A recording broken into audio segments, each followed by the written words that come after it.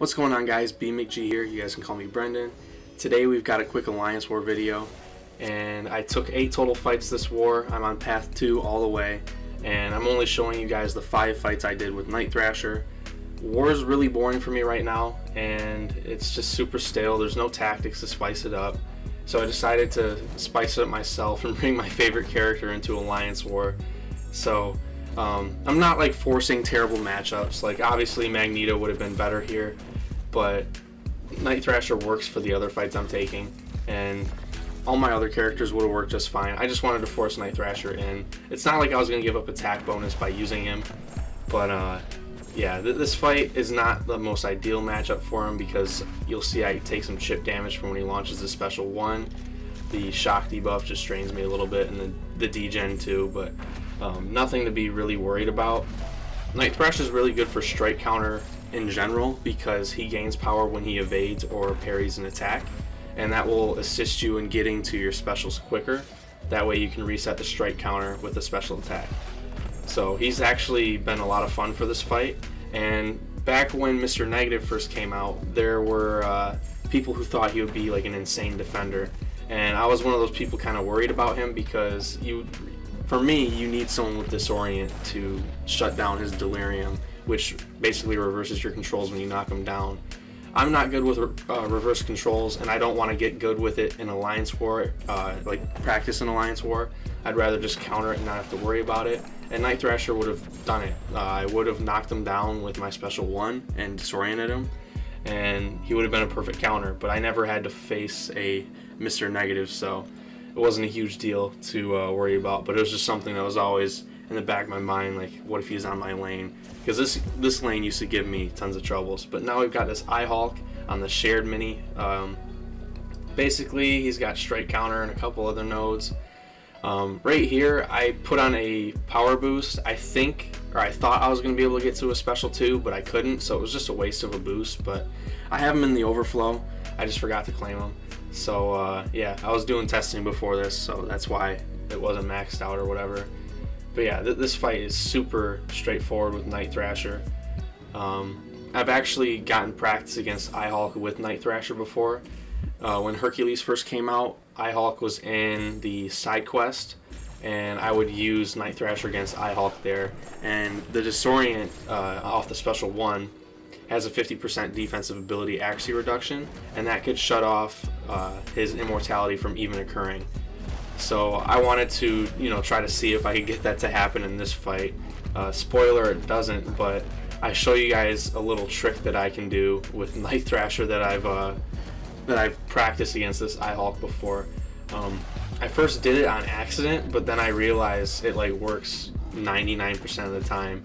So yeah, this fight is really straightforward, and Night Thrasher is so good for these strike counter lanes. Like, it's it's almost crazy how good he is for these, just because of the power he gains in the beginning, or well, yeah, quickly in the beginning of the fight.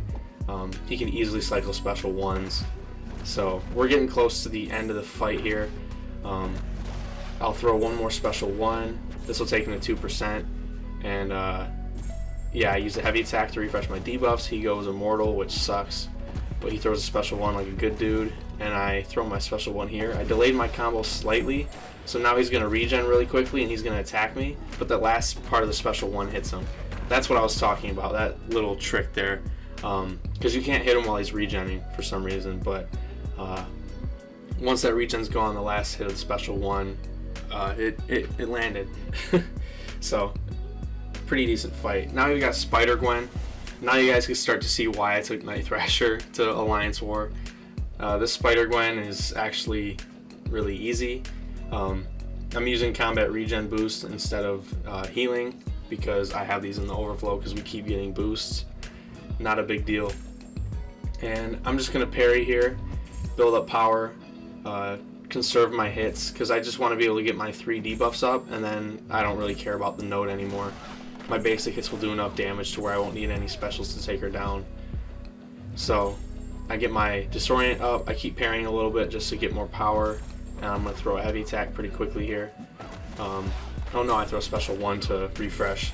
That's fine. Um, now I have both debuffs, and now I just need the shock. Um, right here I go for heavy attack to refresh to get the taunt. and then I go for a medium medium, and then a special one. Yeah, he just feels so fluid to play. I, I love it. It's uh, so much fun watching like gameplay of Night Thrasher.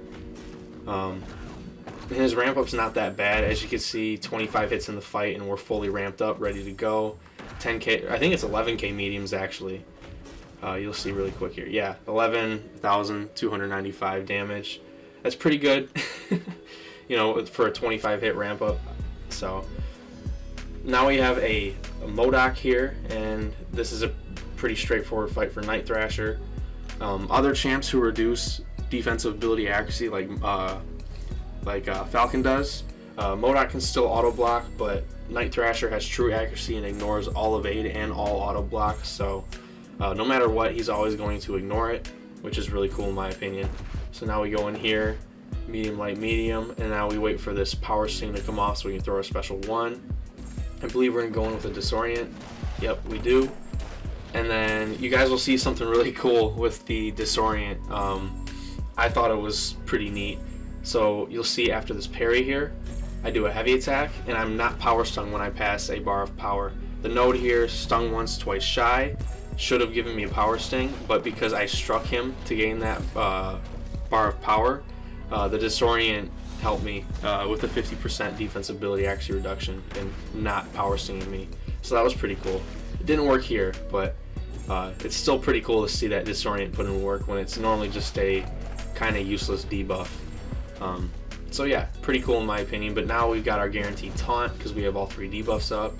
And yeah, now we don't care about the node. We're just gonna hit this dude as much as we can. And yeah, damage is pretty nice. Uh, you guys are gonna see a pretty nice heavy attack here, I believe. Yeah, 17k on the last hit. Uh, when both those crit, it's like a 24,000 heavy attack without um, any synergies. So pretty cool in my opinion. I took that man thing with uh, Warlock. It's not the best fight. It took long. It was like three minutes long. Then there was a sorcerer on the regen node. Took that with Warlock, and and then a havoc on the polka dot power.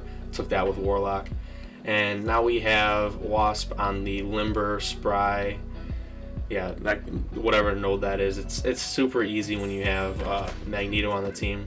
Uh, Magneto House of X that is, because you can just parry heavy, parry heavy, parry heavy, any champ. Uh, there's also brute force on here, so you know if you have to bait a or a special attack, you'll take some chip damage. It's whatever. Uh, but yeah, he's pretty pretty good for this fight because like if she doesn't want to throw her special attacks and she throws a random heavy attack, I can dash in without having to worry about uh, getting evaded and shocked. But that's not really much of a issue in this fight.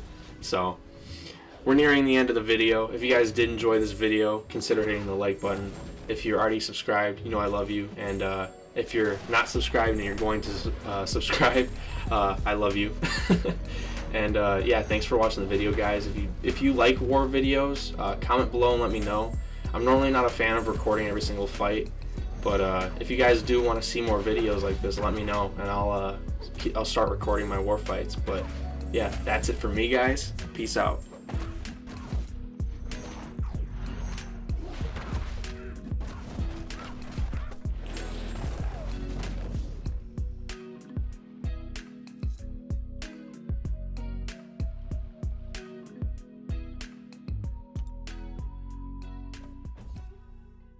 Mm-hmm.